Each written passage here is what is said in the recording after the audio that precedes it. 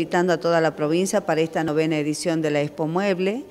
que se va a realizar los días 11 y 12 de junio en Caimancito a partir de las 9 de la mañana hasta las 20 horas y van a participar más de 100 eh, carpinteros, entre carpinteros y, y aserraderos, así que los esperamos para que puedan apreciar la excelente calidad de los muebles que producen, ¿no es cierto?, estas pequeñas pymes, eh, que son grupos familiares, ¿no es cierto?, que trabajan en esta nueva edición también. Eh, esperamos contar con la presencia de todos ustedes para apoyar al sector carpintero, ¿no es cierto?, que es la actividad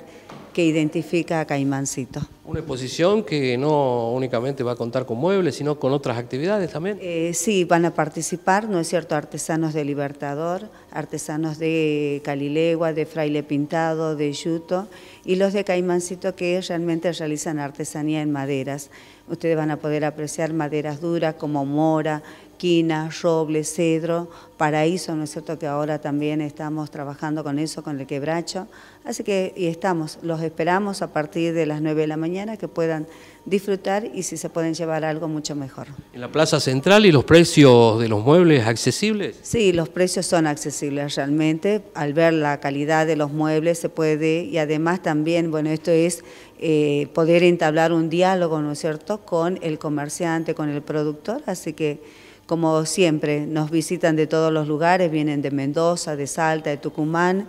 eh, podemos eh, tenemos estos registros, ¿no es cierto?, de la gente que se aproxima